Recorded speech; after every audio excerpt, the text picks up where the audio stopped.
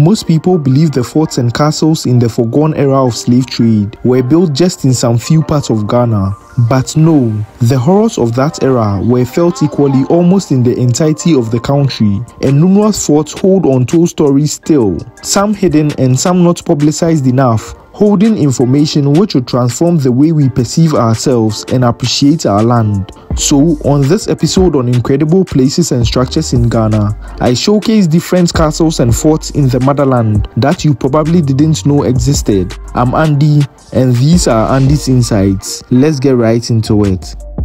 At number 1, Kumasi Fort and Military Museum. This fort, located in Kumasi in the Ashanti region of Ghana, was built in 1820 by the Ashanti king Osei Tutu Kwamena. This fort was built as an indigenous fort of the Ashantis as the invaders back then had deers along the shores. This fort, in my view, is supposed to be the most cherished and widely prioritized fort in the history of Ghana because it was created by us and showed the resilience, the ingenuity, and charisma of the indigenes back then, who have been portrayed as weak and narrow minded, but contrary to those beliefs, were very smart, able to adapt and create strategies which led to some victories when the odds weren't stacked against them. The fort was destroyed in 1874 but built again in 1897. It was built with granite and brown soil that was brought from Cape Coast to Kumasi by head potters. This fort has incredible significance to the fight against colonizers in the past as the queen mother of the Ashantis, Yaa Asantewaa, leading a rebellion, trapped 29 Brits in this fort as she showed her defiance. It was later converted to the museum it is today by the armed forces of the British colonial government in 1953 after the Second World War. Today,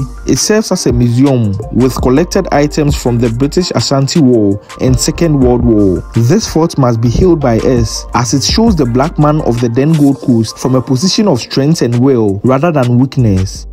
At number 2, Fort Santo Antonio this fort, also known as Fort St. Anthony, built in 1515 by the Portuguese and was the first ever residence of whites who came to this part of the world. It is located near the town of Axim in the western region of Ghana. This fort is a historical site and famous because of its several European occupants that took turns in occupying this fort for numerous reasons each. Built by the Portuguese, it was captured from the Portuguese by the Dutch in years past and subsequently passed on to the British the fort is now the property of the Ghanaian state and is open to the public for education on our past experiences and for reflection. The walls on this fort were so high it was near impenetrable from outside forces and prevented the indigenes captured from fleeing. It was at this same fort that the governor J.M. Gomez fell to his death on seeing a boat carrying his wife on board arriving. The walls being so high caused his demise on descending with excitement, which goes to show how high the walls actually were, preventing a rebellion of any kind. Most victims captured to this fort were apparently lured in by fellow indigenes acting as agents for the colonizers, with falsehoods on providing menial jobs, which ended up being a trap and collecting fees for these acts. This fort is a huge historical site worth visiting to learn more and channel our inner selves on the path of discovering the stories of our past. If you've liked this video thus far, be sure to hit the like button right down there and subscribe to this channel. Thank you.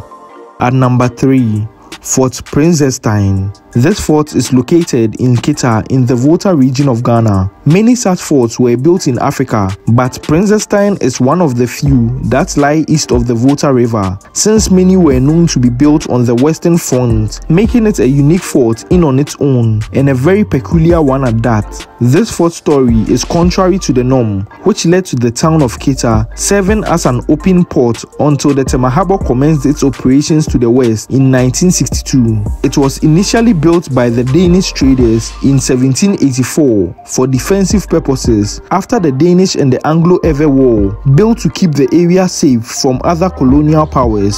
The majority of the materials, especially the stones used for the building of the fort, were sent in from Accra by the Danish people. This fort is amongst the four major structures that were built by the Danish on this side of the world. Hence it's been designated as a World Heritage Property. It's played a huge role during the foregone slave trade and also served an active purpose in the trade of imported and exported goods, such as gold and ivory, in a give and take trade for muskets, brandy, iron rods, textiles, cowrie shells, and other tradable items. A visit to this site is worthwhile as it holds so many tales of events compounded in the past, such as the war between the Anglo-Avars and the Danish travelers.